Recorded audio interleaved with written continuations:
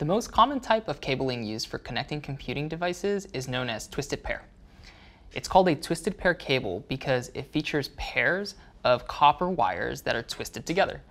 These pairs act as a single conduit for information, and their twisted nature helps protect against electromagnetic interference and crosstalk from neighboring pairs. A standard Cat6 cable has eight wires consisting of four twisted pairs inside a single jacket. Exactly how many pairs are actually in use depends on the transmission technology being used.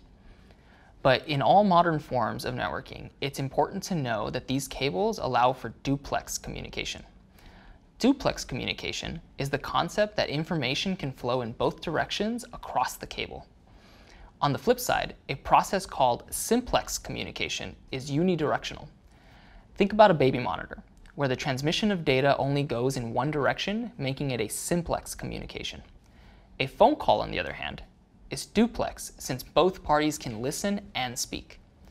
The way networking cables ensure that duplex communication is possible is by reserving one or two pairs for communicating in one direction.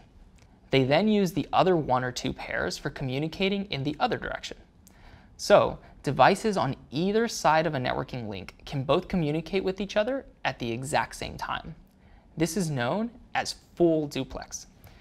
If there's something wrong with the connection, you might see a network link degrade and report itself as operating as half duplex.